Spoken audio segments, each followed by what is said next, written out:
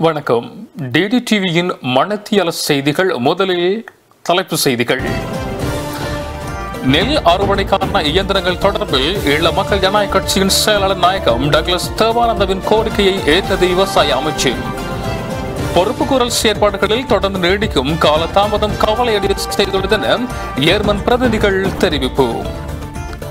பெரியார் சிலையை உடைப்புக்கு காரணமானவர்கள் மீது கடும் நடவடிக்கை எடுக்கப்படும் என தமிழக முதலமைச்சர் உறுதி.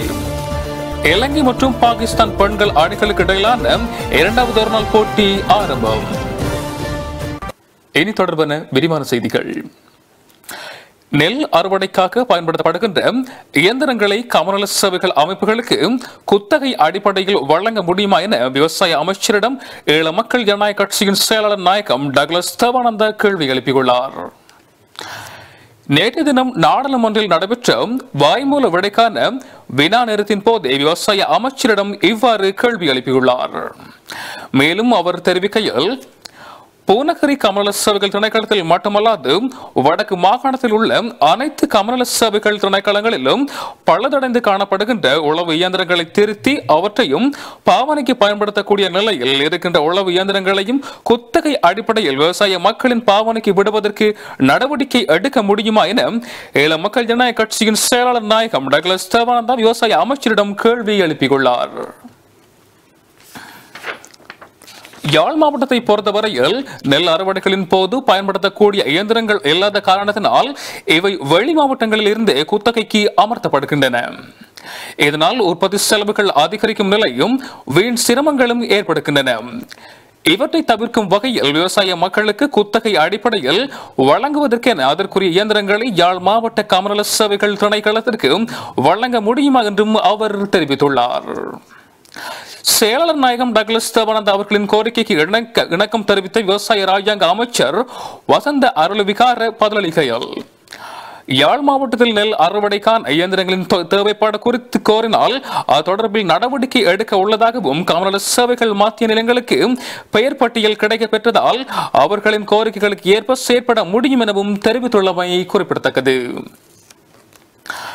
இலங்கையின் முயற்சிகளுக்கு கடந்த இரண்டாயிரத்தி பதினைந்தாம் ஆண்டு முதல் தீவிர ஆதரவு தெரிவித்து வந்த போதிலும் பொறுப்பு குரல் செயற்பாடுகளில் தொடர்ந்து நீடிக்கும் காலதாமதம் கவலை அடைய செய்துள்ளது என ஏர்மன் பிரதிநிதிகள் தெரிவித்துள்ளனர்.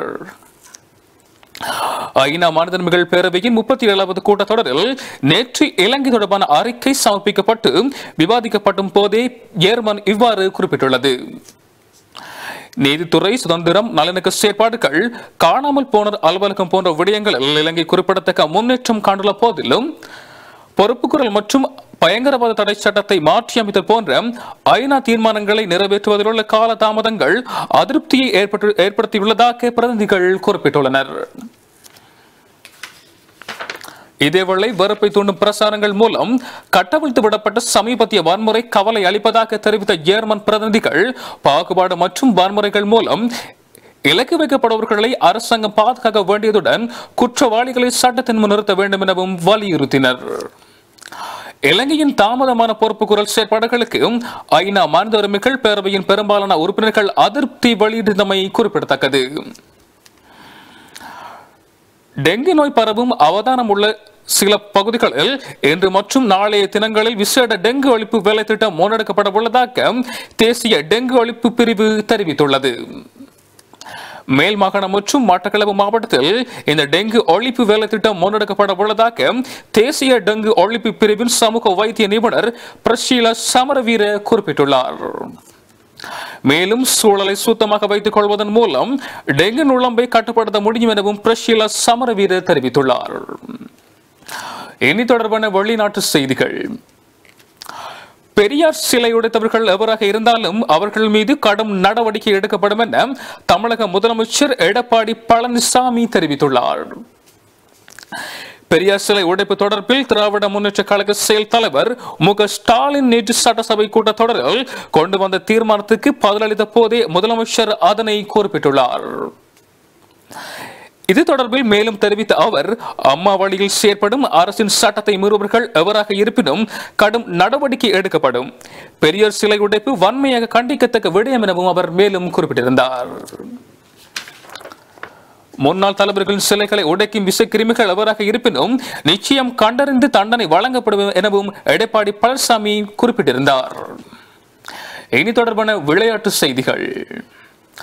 இலங்கை மற்றும் பாகிஸ்தான் பெண்கள் அணிகளுக்கு இடையிலான சர்வதேச ஒருநாள் கிரிக்கெட் போட்டி தொடரின் இரண்டாவது போட்டி தற்போது நடைபெற்று வருகின்றது. தம்புள்ளை சர்வதேச விளையாட்டரங்கில் காலை ஒன்பது முப்பது மணியளவில் ஆரம்பமாகிய இந்த போட்டியில் நாணய சுழற்சியில் வெற்றி பெற்ற பாகிஸ்தான் அணி முதலில் துடுப்படுத்தாட தீர்மானித்தது. இதற்கமைய முதலில் களமிறங்கியுள்ள பாகிஸ்தான் அணி சற்று முன்னர் வரை பதினைந்து ஓவர்கள் நிறைவில் ஒரு விக்கெட்டை இழந்து அறுபது ஓட்டங்களை கடந்த நிலையில் துடுப்படுத்தாடி வருகின்றது.